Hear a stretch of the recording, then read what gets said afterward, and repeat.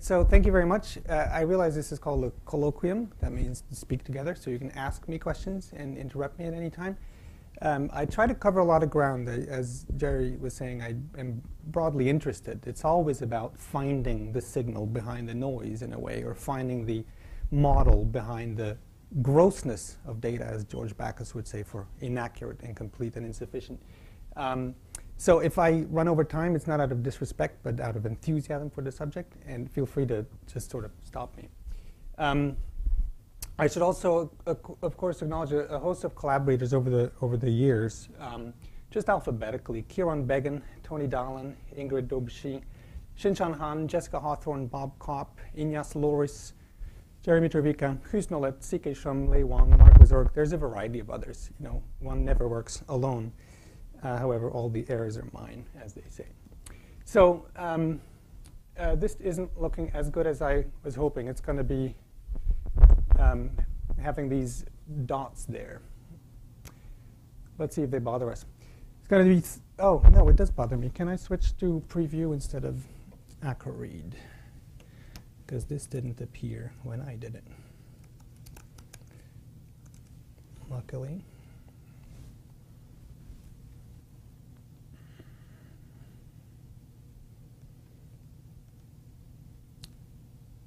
Oops. Then this uh, pointer won't work, but I don't worry about that.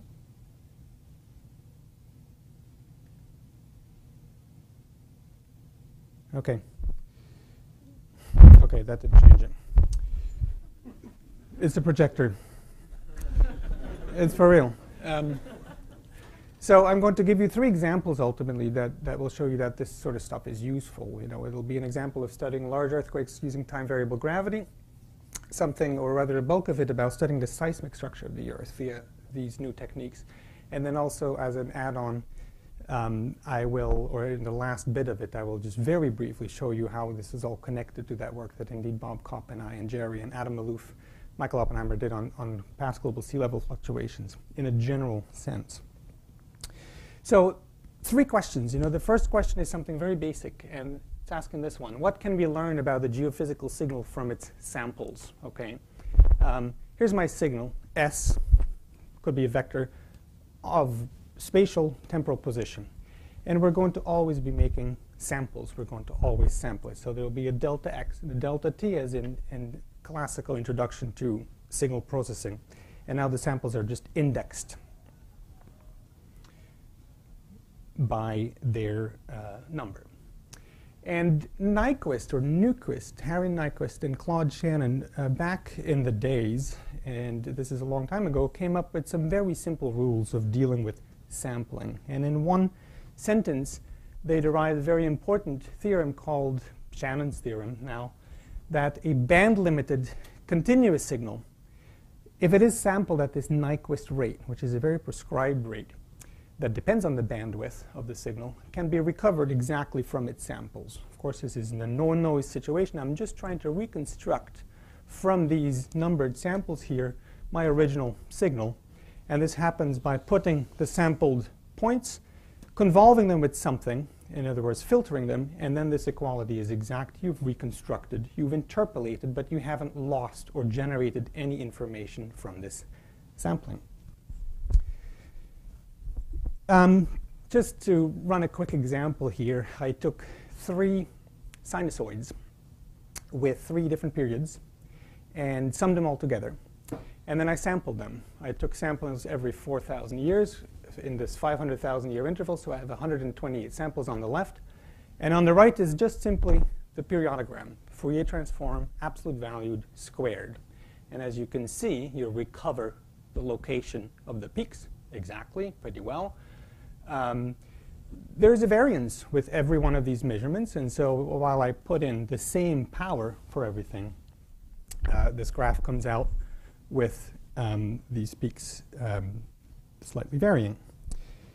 This is oversampled. If I downsample 8,000 years, I can still find the original peaks. However, of course, if I am past this Nyquist rate, if I'm at 16,000 years, I have now no longer the capability of resolving that shortest time uh, period. It is now rather folded into the um, uh, recovered uh, periodogram by this effect known as aliasing. Right?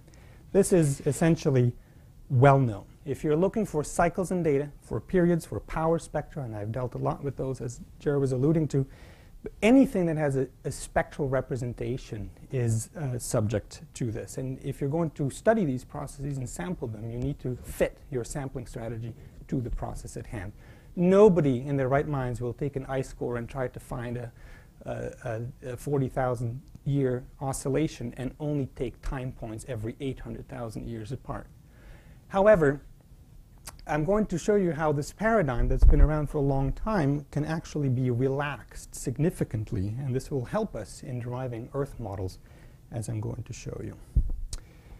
So question two, the broad scale question is what can we learn in more general detail from noisy, incomplete, inaccurate observations of geophysical signals? Same notation here, my signal of space and time, that's the truth, let's say, the solution. And I'm going to get data. My data will be some function of that, and let's call it f. And this could be sampling and discretization, followed by linear modeling or nonlinear functions, you know, seismic tomography, anything that goes into forming the data, and then adding noise. That is the data. How do we get from the data back to the truth. So that's, of course, a, a, a, general first-year type of question of, of geophysical inverse theory. We need to try and find the inverse that undoes the operation F, which worked once again on this hypothetical truth with some noise added, and we need to go back. And the larger class of inverse problems where this is hard, I'll just call all of them ill-posed, and um, in a few words, it will just be whenever it is really hard to recover the truth or to learn the true nature of the process being modeled from its uh, data. This could be because the data is inaccurate, because it's not enough of it, or uh, because you're not doing it right. What if we're doing such problems? Well, generically, let me just specify this operator to a linear system. The classical data is a linear transform of some model or some model parameters, or rather this is the model and this is the solution, plus some noise, and we need to find an estimate of whatever produced those data. Now come William Ockham and Tikhonov, two uh, names that come up in this context, and they had very particular views on this problem. Ockham said the following, and since our motto is in Latin, I'll uh, tracked it down in Latin. It basically said that if you have multiple competing hypotheses, select the simplest ones. And of course, that's under the caveat that the hypotheses are equal in all other respects, such as fitting the data to an equal uh, misfit. And then Tikhonov, whose name got uh, associated with this type of approaches, um, said, let's regularize these inverse problems. And how do we regularize it? By the assumption of prior information. And one form that this takes typically is by the addition of a suitable damping or smoothing operator. Um, so these two uh, people here just essentially said the following. Let's minimize the data fit, or rather maximize the fit, minimize the misfit. Make a model and make sure that when you predict what the data should be, that in the mean square error, that there should be a very, very low mean square error. But because this operation through inversion may not always be possible due to this ill-posedness, you're going to have to assume something else. So how about adding a quadratic penalty to it, such as keep the model small, or keep the model smooth, or keep various derivatives of the model to a minimum. And that's called the L2 penalty because these are all quadratic norms here. So this is um, what has been going on for a long time also. That's the sort of standard way of treating these uh, problems.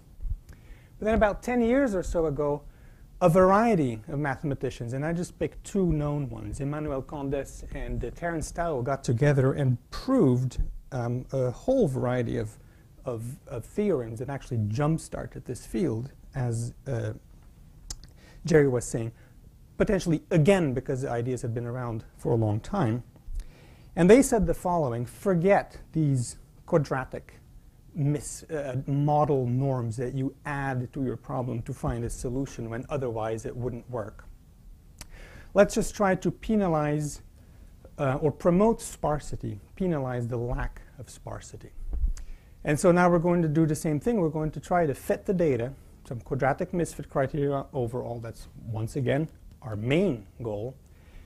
But if we add the following constraint, if we add the L0 norm of the data, uh, or of the model to it, then we're going to ask for that model, which is simple, when simple is defined as very few components in it matter. So that's different from constraining derivatives or, or L squared norm just saying if my model has 10 parameters, I prefer that over one that has 11 parameters if the data fit is the same.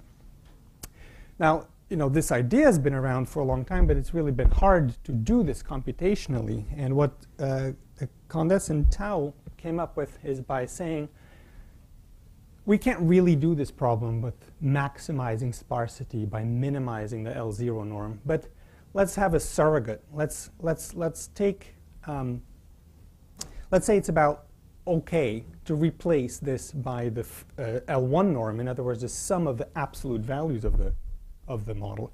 It turns out that under certain conditions, and these are all easily met in the problems that I'll be discussing, that by replacing this problem of L2 data misfit plus L0 of the model, looking for sparse models, that if instead you do L2 plus L1, and then you iterate that you get to that solution which fits the data at the required level to call it a fit, while being, out of all those possible models that might have that same data misfit, the sparsest one in the L0 sense.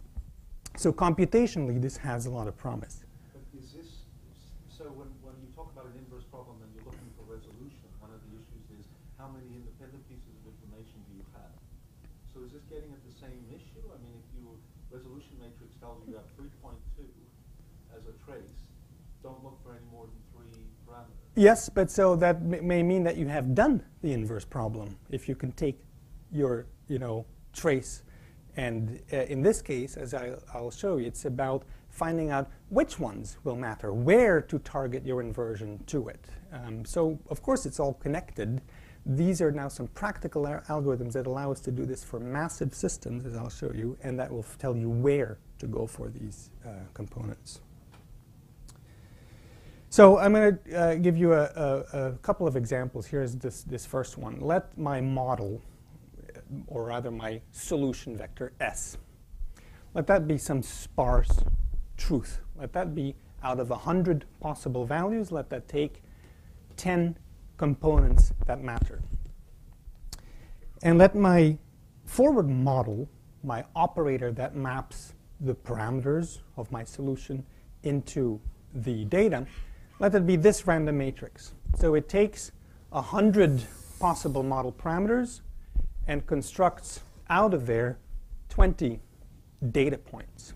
And of course, this now, this could be a seismic forward model. This could be banana donuts, ray paths. This could also just be simply sampling, in which case you would pick one on every row. So, but by allowing for complete randomness, of course, um, uh, it's just a little bit more general.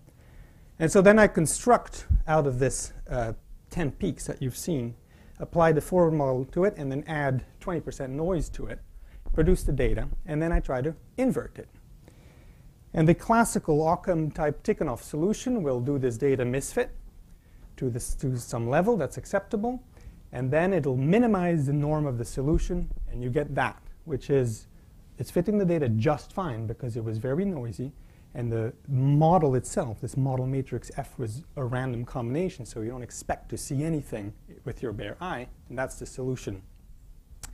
But by letting go of the squared additional penalty parameter and instead going for the uh, L1, you get this as a recovery. Very simply, you find the peaks where they belong with a little bit here and there of spurious peak introduced by the noise. But each of these models, this one and that one, explain the data identically to the same model misfit. In one case, I chose a quadratic extra piece of information to deal with the ill-posedness. And in this case, I'm um, taking the L1 penalty. And so if we know that the model is sparse, if we know that something has certain peaks and only a small set of it, in principle, all of these techniques should be working. So um, these are going to be bullets now, but this is a, a, brief summary here. We used to solve noisy inverse problems with insufficient or inconsistent data with this quadratic regularization. Most seismic models of the Earth are made using that. Most of anything, most of deconvolution, most of uh, uh, geodetic, geomagnetic models are all having some quadratic regularization. But if the signal that we want to model is sparse in some basis, then we're going to have a benefit from using L2 and L1, and uh, we should really regularize towards sparsity. So the formal definition of sparsity may be this L0 norm, the sum of the non-zero entries, um, or rather the sum of the number of non-zero entries. Uh, but combining it with L2 is practically really tough, so combining it with L1 works much better, and L1 is just the sum of the absolute values of the model.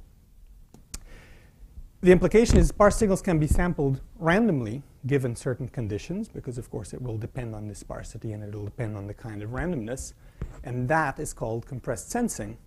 And we are essentially letting go of Nyquist and Shannon in terms of what that meant, and uh, please.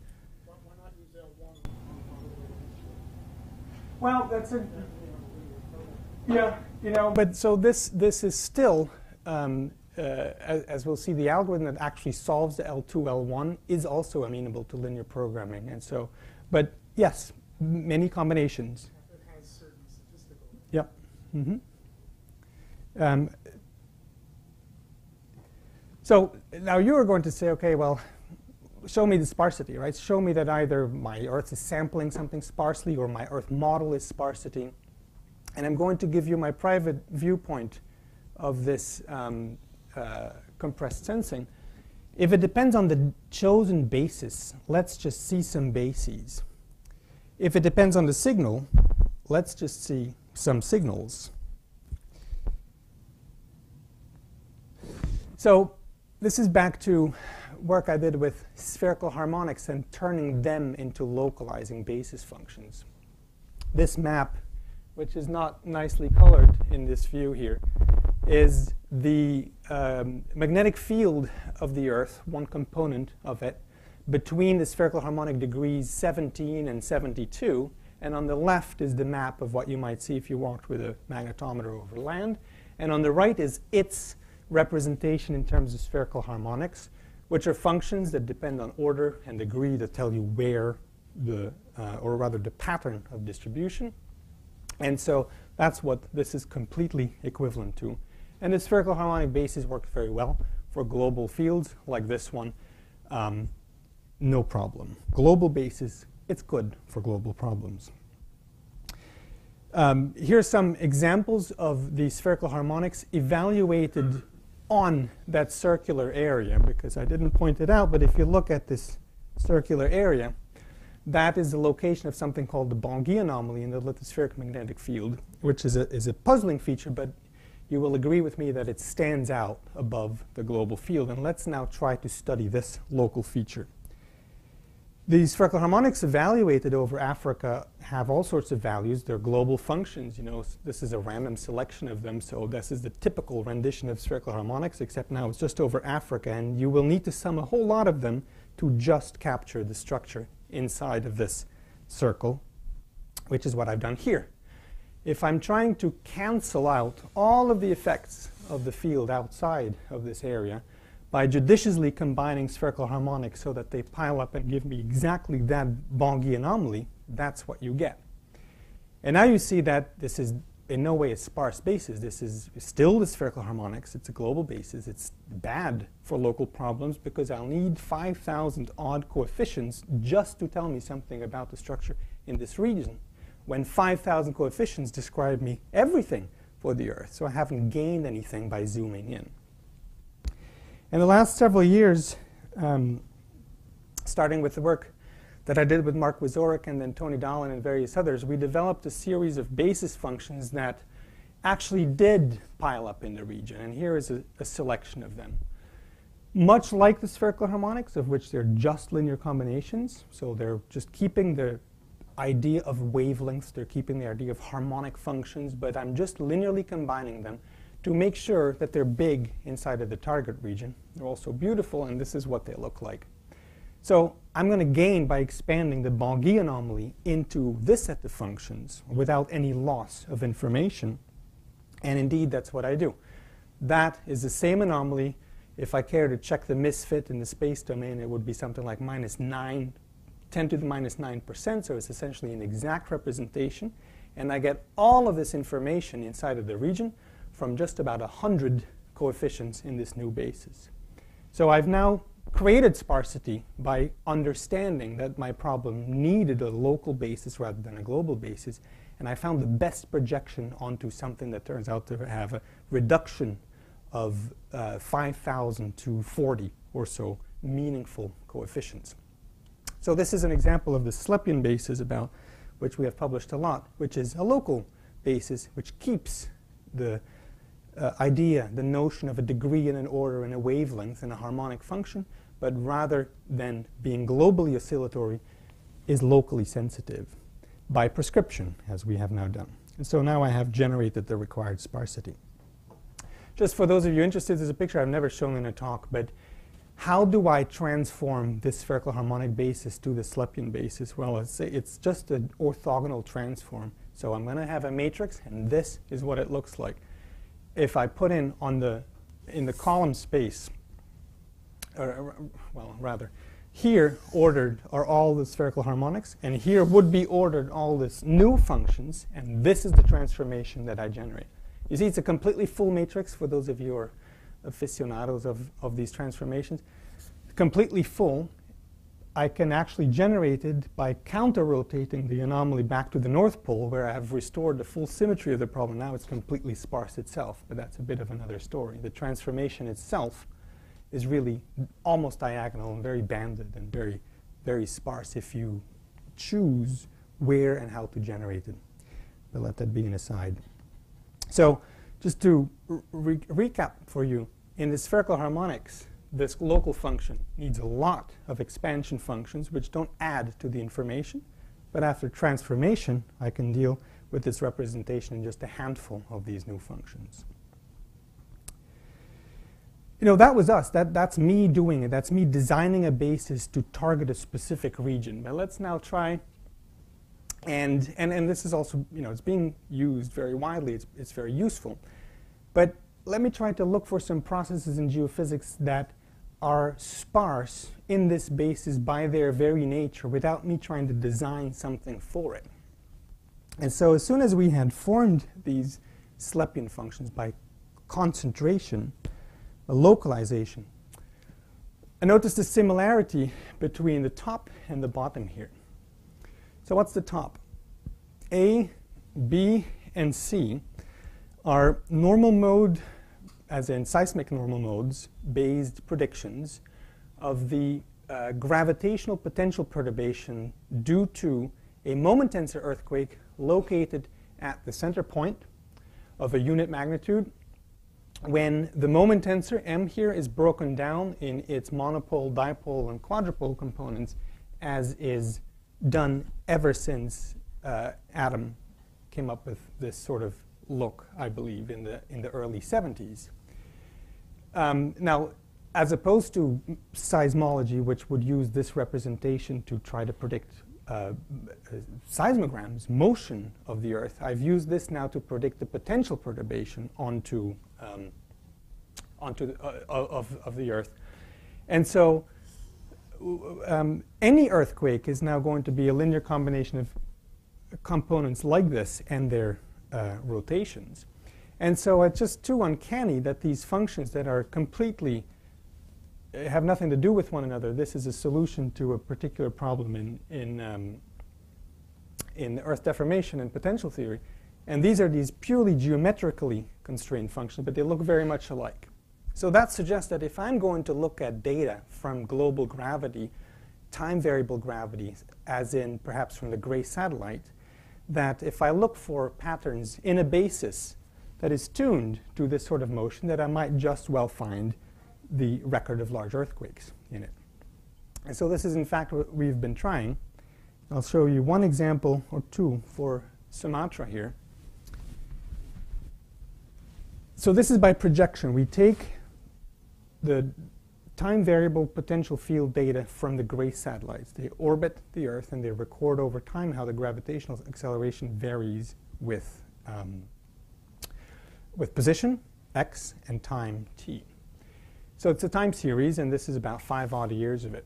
And I'm going to project that time series just for illustration purposes onto the first two of these functions that I made for the region of these Slepian functions. And right away, you see the jump associated with the um, earthquake at uh, uh, the time of its occurrence. And because the bases are rotationally invariant, I can just rotate them and then rotate them. And so if I rotate them to this point, I almost null the signal on this component, and I've made a directional measurement of what directionally dependent gravitational anomaly is caused by, in this case, the Sumatran earthquake. And by reading off this jump here, I can attach a potential perturbation to it. So from projection onto this basis, you can infer the strike of this earthquake, and you can infer its magnitude. And of course, we project onto all of the other basis functions to construct a complete picture. But it's just sort of nice that these completely geometrically constructed functions happen to know something about the physics, or rather, they're so similar to this earthquake problem that we could use them right away to look at earthquake structure. It's a pretty small area. Yeah. So if you just use local Cartesian coordinates and sines and cosines, you make a significant error? Well, so uh, what, what happens is that when you do this and you do it properly, you are not making any of the approximations that you need to do when you do that sort of Cartesian thing. When, what people are doing, and they have done this also in this earthquake, which is so large that of course anyone saw it, is they have had to rely on spatial filtering to uh, get rid of, uh, among others, striping in the satellite. Um, and then they have a planar projection, and then they filter that some more with some Gaussian kernels, and then they look at the difference, and then they come up with something that is very dependent on the filtering. This isn't at all filtered. This is projected onto a basis that happens to be attuned to it because it's in the right place. Um, so you get um, There there must be some limit to which the area is so oh clearly, but The Cartesian. Oh, yeah, yeah. No, this isn't about spherical versus Cartesian. And in fact, we have redone all of the Slepian functions for 2D Cartesian where they are need to be applied. Yes, this is not about Cartesian. This is about uh, lack of arbitrariness selection and filtering, which normally goes on when people have done Cartesian. Um, so, and so now I can move my bases around and see where I pick up and lose the signal. And that's what I've done here, for instance, is I'm tracking down all these strike measurements done in this, in this, time, in this, um, in this panel here. And so I've, I've moved the bases on this grid. And every time I record a significantly directionally dependent jump in the, in the gravity field, I'm tracking what turns out to be quite nicely the, uh, the um, Sumatra Andaman uh, trench here, where there is not much. There isn't much, but, and as this is the show here that I haven't filtered anything, here there are some severe stripes associated with the satellite tracks themselves. And the, um, putting it all together, this would be the observed gravitational anomaly, and this would be a purely seismologically based uh, prediction of it. And so, as you can see, we're starting to move towards being able to use run of the mill gravity solutions from GRACE, projecting them onto a right basis in which things like large earthquakes, potential perturbations are sparse, and then immediately, without much trouble, recover something that we can then study for its complementarity with uh, seismic inversions, which are just based on ground motion. As an example, this is work with a graduate student at Ohio State, Lei Wang here.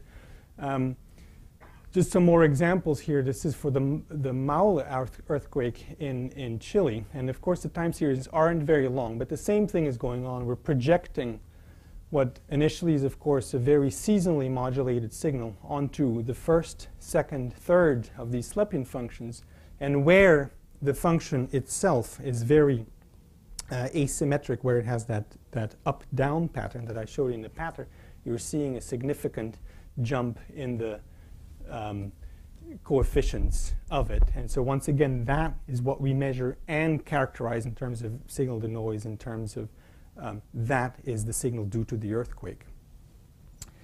Um, this is then after we've done it for all of those coefficients. So each of those bases functions now has a coefficient associated with it. And then when we re-expand that in space, then we have this version of what the um, uh, Chilean earthquake, 2010 earthquake, did to the Earth's gravitational field. Um, I'll show you a cross section through it, a profile. It perturbed the gravity by some number of microgals. This is at a particular um, uh, latitude here, 26 uh, south, I believe. And so this bluish line here is what our technique recovers from uh, the GRACE observation. And then these various dotted lines are predictions from people who um, predict what the gravitational potential perturbation should be based on purely seismic models and perhaps some GPS thrown in also to try and constrain the slip on that fault. And so this is one of those examples where predictions range six, seven, eight. You know, you could find various predictions for what the slip on this fault should be, and once again, that itself is an inverse problem. But completely independently, we have made one more measurement that constrains this part of the uh, earthquake as well by this procedure that I just uh, described to you. But how would that compare to the inference you get by the traditional GRACE analysis, is multi-step smoothing analysis? Well, the, I, I- what I don't like about the multi-step smoothing analysis is that when you filter, you lose. You, you move around information and you are no longer objective.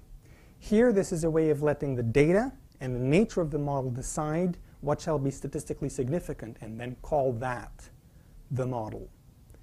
So any usual way of dealing things comes with, and then I have a Gaussian filter of 300 radius and this much of asymmetry, and oh, I downweighted this, and you know this doesn't. This is just taking all of the data, putting it in, projecting it onto a basis that works well for it, and collecting the result. And it seems to work very well. So the answer is that it depends on the smoothing that you apply to the GRACE data in that traditional approach.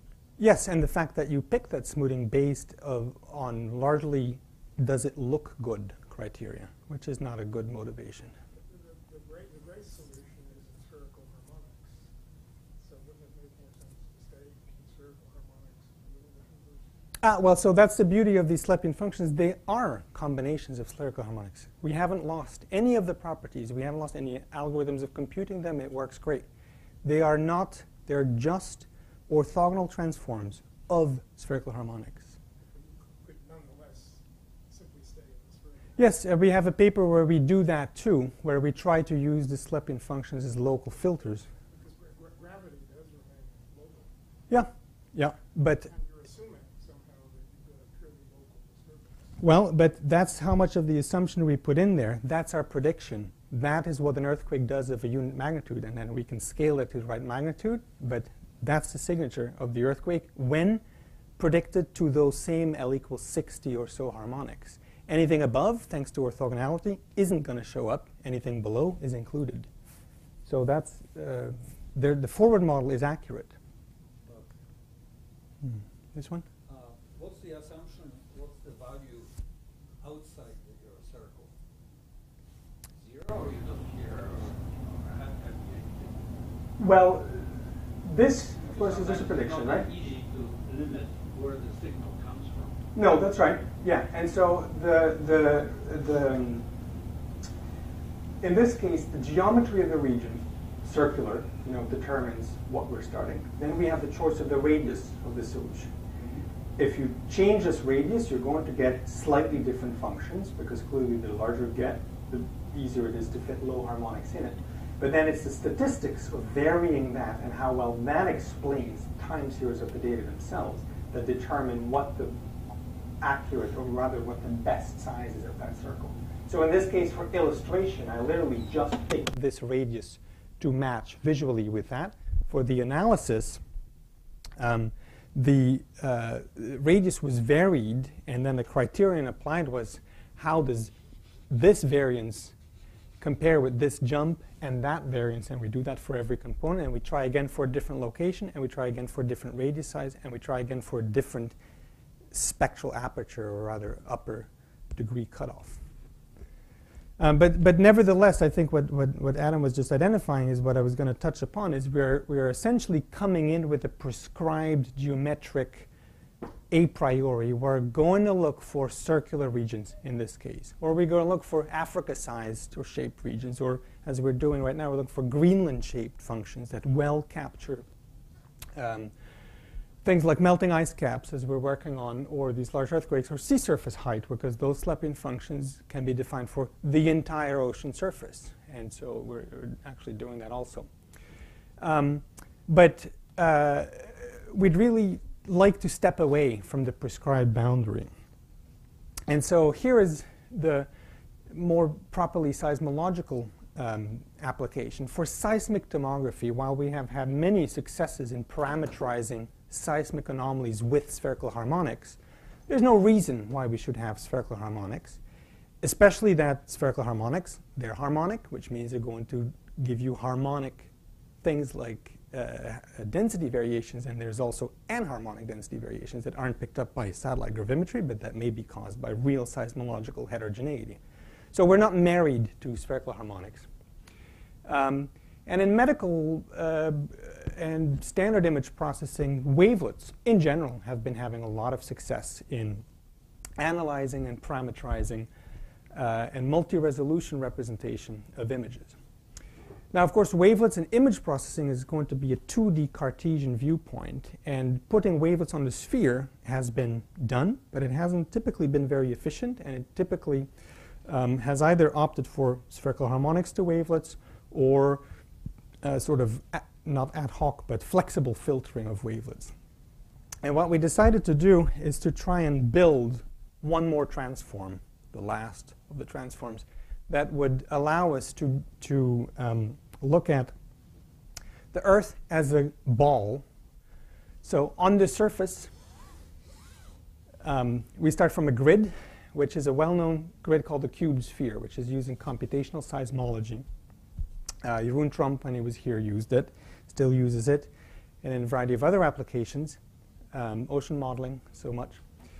And because of the tolerable distortion of this grid on the sphere, and then we move that grid down inside of the sphere, we can actually just use Cartesian wavelet transforms in the two dimensions and then the third one on it. And so now we can open ourselves up to the study of this volume of the Earth using a combination of traditional wavelet algorithms.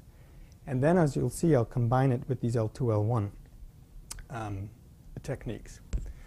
So here's one example of one construction that puts, once again in Africa, a bunch of wavelets at different scales at this one position in the center of it.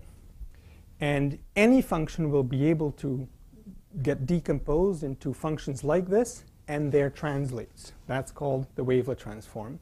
And whatever the expansion coefficient is of this one at that point, I'm going to put at the right location in this 2D grid for which I'm setting you up with, to the tune that an n by n map of data is going to be equivalent to an n by n map of wavelet coefficients, and their location and their scale will tell me where my information is.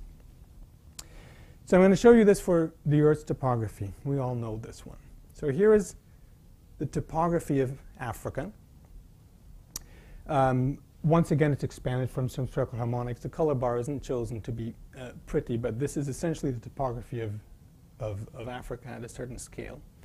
And here I've broken it down into this wavelet construction on the sphere. And as you can see, fine scale, diagonal, horizontal, vertical derivatives show up, and then it sort of gets very messy. And these n squared numbers are transformed to n squared numbers.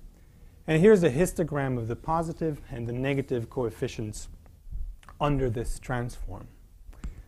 So now you go, okay, this is fine. This is a wavelet uh, transform, but you know you haven't had any sparsity yet, which is the point of the talk. So I'm going to introduce it now. If I take my signal, which is the Earth's topography, I wavelet transform it, and then I just throw out the low values. I'm doing an operation called thresholding, which is not a linear operation. and I'll sh- you'll show you the effect of it. So here's, I'm throwing out 25% of the data, and I'm only making a root mean square error in reconstructing my model, which is topography, to 0.4%. I haven't lost any information yet, and yet I've thrown out 25% of the data, or rather the numbers. If I throw out 50, 85, I'm doing a perfect job, you know, 5% error, which is something in a model we can tolerate, of representing this topography. And yet I've just thrown out all the low value coefficients, which I no longer need to store, handle, invert for, look for, position. Of course, I can go too far. If I keep thresholding 95, 99, I no longer have a representation of Africa that's going to be satisfying. But somewhere in there is a magical threshold level that will give me the right resolution. And it's now our goal to see where this thresholding can be applied such that a seismic model, as I'll be making, satisfies the data. So before we do that, we need to ask ourselves, are Earth models really sparse? Right? Is the Earth sparse? Nobody knows, but we're going to look for a sparse representation of it. So here I'm showing you one layer through uh, Montelli's model. P-wave speed anomaly in the traditional colors of fast is, is, is, is blue and, and slow is red. And uh, we tried a whole variety of these thresholds, and the example here, which isn't rendering too well, is after 95% thresholding. So we've left, um, we're only working with 5% of the numbers in the whole problem, and we get virtually no error in representing our target. When we do that on a different model, this is a Jeroen Ritsema's model, we get similar behavior. In other words, we can keep throwing out stuff along the x-axis here and not touch the norm of what we're representing until it really gets too bad, and then at zero, of course, you have 100% error norm. So somewhere along this line lies this optimal level of thresholding, which is that optimal level of damping that we're going to be looking for when making models like this for the Earth. Of course, the side benefit is that we can now study the distribution. Yeah? What it is that you're actually trying to represent these anomalies? Uh, I am, I am taking your, in this case, I'm taking Jeroen's model, Iritsema, I'm expanding it, and uh, then I'm wavelet transforming it. And then I have a certain set of numbers. I have 9,800 numbers, 98,000 numbers. So I have a set. And then I'm trying to throw out the low values of it. And because of the transform, which introduces the sparsity, there's a whole lot of useless ones. And when I throw out 95% of those numbers, I'm pretty much left with the same number. So that's good. That means that is a sparse set that represents this model very well. And in terms of setting up uh, an inversion, I'd rather target those numbers than all of those numbers. That's just a proof of concept that things are indeed.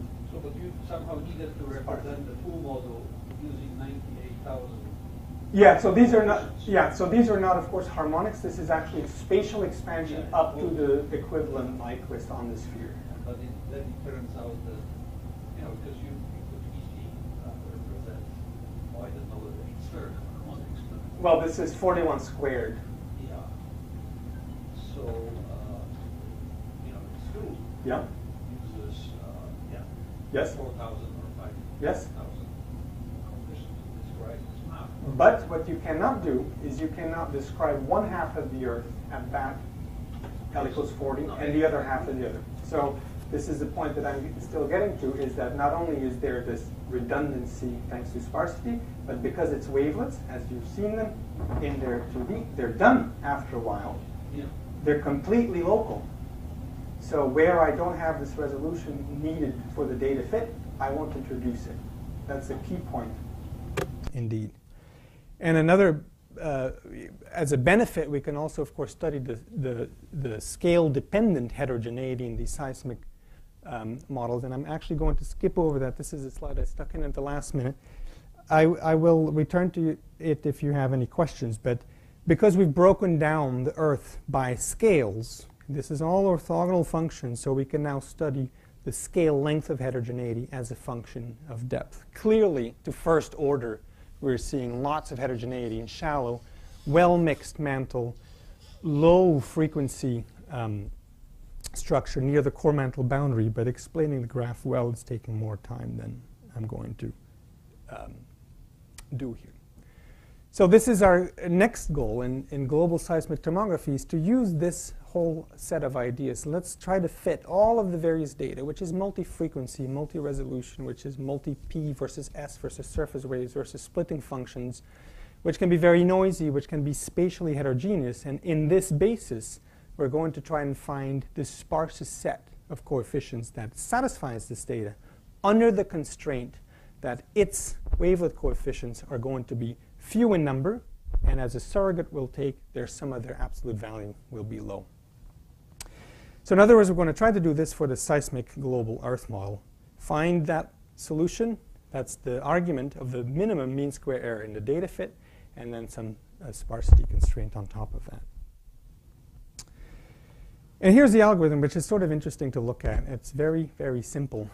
It's some kind of a conjugate gradient. You start from some solution, you operate on it with the forward model, you compare with the data, it's not good. You apply with the transpose, not the inverse, of the same operator, and you add that to the previous one. You wavelet transform, and then you threshold. And that's your next one, or rather, that's the wavelet transform of your next one. So the thresholding here is at every step saying, let's just throw out the low values. And over time, as the algorithm progresses, it comes up with the sparsest set that explains the data to the prescribed um, data fit. And all of that is done with a few forward wavelet transforms, which are very fast. And uh, it's also done without having to invert anything, which uh, means it's ready for massive problems, where in the trials that we're doing now, these matrices F have something like 100,000 rows, and in a typical block-based parameterization, you might need 6 million model parameters to grid the Earth. Um, and here we do, with this sparsity seeking algorithm, we're doing um, not that. So as a toy example here, the last one of the toy examples, I'm going to give you a model that is uh, from uh, some of Trampert's work, not on a pretty color scale, but let that be the truth. And let this here be the density of sampling, which is also realistic. It's also taken from a, a published paper of surface wave paths circling the globe, and this is the log of the density with which the rows of the matrix are filled. And so you have lots of data arriving in the US, lots of earthquakes, lots of varying um, structure, and it's highly heterogeneous. Um, and so in some areas, you're going to expect high resolution, some areas, you're going to expect lower resolution. The point of this exercise is just at this point to try if the algorithm works. And so all we need from it right now is that it reproduces the input after adding noise to it. And so that's the um, solution. So this, is, this was for us the first time that on a realistic scale of experiment, we could apply this new wavelet transform the new uh, norm criterion, the new thresholding algorithm, the whole iterative scheme, all in realistic situations. The output is then to be compared with the input. And so not only do we explain the data very well that we generate, but we're also able to reproduce our input.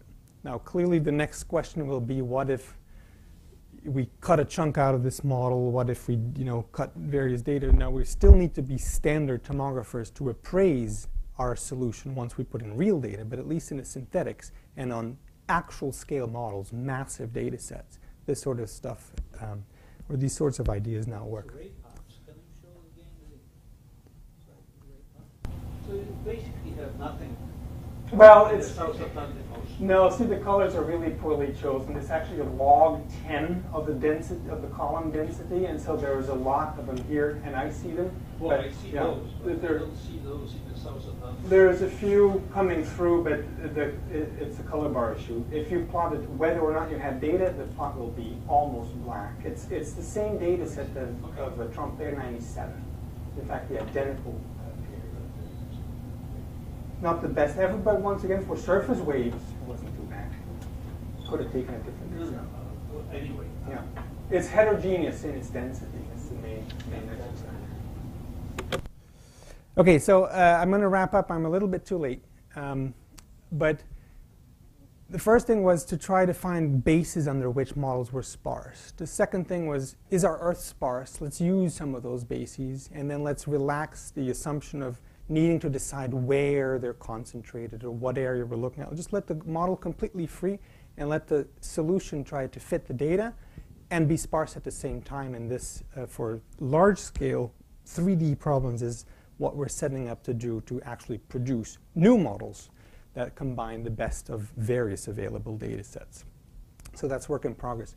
I'm going to tack a little bit at the end where, you know, instead of deriving that single best model, this is what Jerry introduced us, me as uh, the work with Bob Kopp here, let's just try to sample the posterior distribution of having this truth, in case uh, here this would be paleo sea level, given a variety of data. And so I have two more gentlemen to introduce you, Thomas Bayes and Albert Tarantola, who would probably hate to see themselves on the same picture. However, um, both of these had variations on the idea that modeling is about producing data from known inputs uh, in some probabilistic sense, starting from some prior on what all it could be, and then sampling the distribution of all of those solutions that would fit that data. And uh, Albert lectured at Princeton for, for a semester, and every day he wrote equations like this, and every day he claimed he was not a Bayesian. So it was slightly incongruous, but um, so sparsity throws us a sparse data set. This is what Bob Kopp and Adam Maloof put together is all of the available data that they could find in during the last interglacial. I'll show you the precise time frame in a well in, in this graph here, 120. These are the intervals, 128 uh, thousands of years ago. And at every point, we have one or more data sets, and the statistics of it is very messy. They're not very good. They're limiting points. They're broad uh, uncertainties. They're up to this point, you know. Um, and from that, our task was to reconstruct the history of sea level. So this isn't a standard inverse problem where we can sort of maybe, um, well, I wouldn't know what to invert. And this isn't a standard interpolation problem because if you try to interpolate, you're not going to get anything unless you assume a lot of things. But what we did start by knowing is that when sea level is recorded as to this level, plus or minus this, at this time, and sea level is recorded there as to this level, plus or minus this much, at that time, and the temporal uncertainty of each of those points are what they are, then the two are somehow linked because sea level cannot go from this point at this time to that point at that time without satisfying basic constraints of physics, of how sea level changes.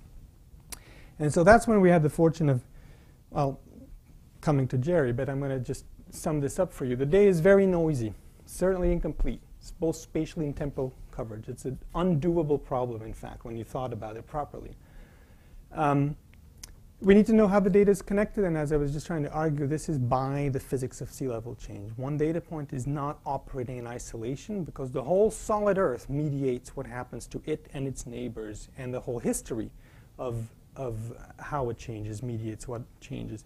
So we want to try to learn as much as possible about the covariance structure of having any data in any of these positions at all. And in terms of prior solutions of what sea level may or may not do, we can build, as we did, histories of ice melting, this ice cap, this ice cap, perturbed with various uh, perturbation parameters, constrained by global isotope uh, curves to try and keep at least volume constraint rights. And, and, um, and then we just run it. Then we sample thousands and thousands of these histories in a way that comes up with an inverse of the problem in the sense that some model satisfies the data, but of course without ever having formulating the inverse. And so this is the example of where nature gives us a compressed sensed sample, and we are trying to undo it because we know it isn't sparse, it's rather sea level that varies. And then Jerry said, um, just let me do this because I know how to include all the gravitational, elastic, isostatic, all of this good stuff that makes sea level computations hard, given it melts here, what does it do there, and then. So we provided the modeling exercise with lots and lots of different models, which became the prior. And here's all this modeling that goes on in predicting what melting does to sea level, which includes, of course, all of the dynamic Earth and various perturbed parameterized versions of it. And then we sample the posterior. And this is a very long story, very short, but we came up with indeed not just a sea level curve, but with a distribution of sea level curves. And so this paper, um, let's read it from 110 to 135. This central interval is the area where we had good data. In fact, the data at all is just marked as crosses here. And so the shadings here are individual models that satisfy the data and that together define a cloud, which is not a Gaussian cloud. It's not even a unimodal cloud in certain things. Yet we have a most likely model of sea level variations globally, which is the central curve. And we can do things like plus or minus in terms of um, uh, capturing a certain uh, volume of models within it. But we arrive at global sea level, at rates of change of global sea level, and at potentially, but not as confidently, the individual contributions on whether or not it was more of this versus that producing that sea level. And uh, the, the, reason this paper got you know, pressed in the end is that, oh, this was ever so slightly higher, I suppose, by maybe 50% than people have been asserting in terms of this type of a environment with this much warming that is not unlikely to occur in our future must have produced, and then we read these numbers, at least this much of global sea level. And so we translated these curves now into probabilities of what can we expect? If the last interglacial is anything like what we may be getting into, let's just read probabilities of exceeding a certain sea level on this axis with a certain confidence, and that would be the black line.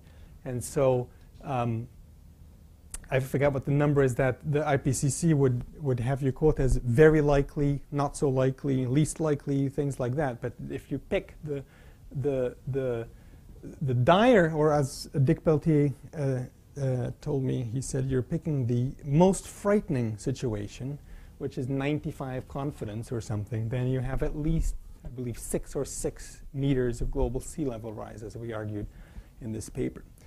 But so to sum up, all of that is derived from three different approaches to inverse modeling, all of them needing or capable of handling messy noisy, incomplete data. In the first part, it was a lot about constructing a basis that would be good for the problem. In the second part, it's by finding the basis by just satisfying the data and letting the basis express itself where it's required under the L1 penalty. And in the third case, it's about sampling many, many, many models. Each of the three, though, they have the property that they explain the data with a minimal amount of assumptions and um, that's it, basically, what I have. Thanks for uh, listening. So we have time for some questions. I haven't read Tao, so I don't know the nature of the problem with the L0 norm. Um, could you say a little bit more about that? Is it a, is the problem due to loss of convexity with uh, yes. with optimization? Yes, that's the root of it. So it's not a proper norm is another one. So if you could you beat that for small problems just by brute force, grid searching everything? Sure. Okay. But you can beat anything with small problems with brute force. So is there a promise for any optimization technique in the future that might actually get L0 directly? Um, we never we never tried to go back to that original formulation because we always knew why we were working you know, toward massive data sets. Um, but, but the other thing is this whole, the, the crux to the algorithm that it's not just their work, there's much more work, right? But, but that adaptive thresholding, that itself is a nonlinear operation. It's, it's not just scaling or throwing out, it, it can be sort of adapted. So there's much more complexity in it. Um, But yeah, why not go for straight as zero if you want? Question? Doesn't the thresholding introduce an arbitrariness in a sense, the same way that singular value decomposition? Well, the, the thresholding is something that, as I tried to argue with the, with the topography where it's somewhat uh, intuitive, it's something that you can set to be dictated by the statistics of what it is that it needs to represent. Topography, and I'm not saying this about seismic models, but topography is some kind of a normal distribution under this particular basis. And so the 85th percentile, I know what that means, you know, in terms of thresholding. But, but you're very right. When we actually do the final algorithm, which has this threshold, this threshold actually evolves over time. Uh, if you track the, the data fit on one axis and the sparsity on, on the other, typically what you get is a, is a slow decrease of the data fit at the expense of sparsity, and then after a while, you return and make the, you, you sparsify something after you found to which level you can explain the data. But the ultimate metric, it's not a decision. The ultimate metric is you explain the data, and it's subjective in the sense that you have found the sparsest, even though to get to that one, you need to let the thresholding vary, and you know you can do it cleverly. But in the end, you have found the sparsest model that satisfies the data, so you no longer suffer from your choices along the way. But we are playing a lot with it's it's it's easy to write, but it's actually hard to do because where and how you threshold these various coefficients, there's a lot of complexity with it to make sure the algorithm converges and works fast. Another question? Okay, so as always, we can meet one-on-one with the speaker upstairs at the reception, so let's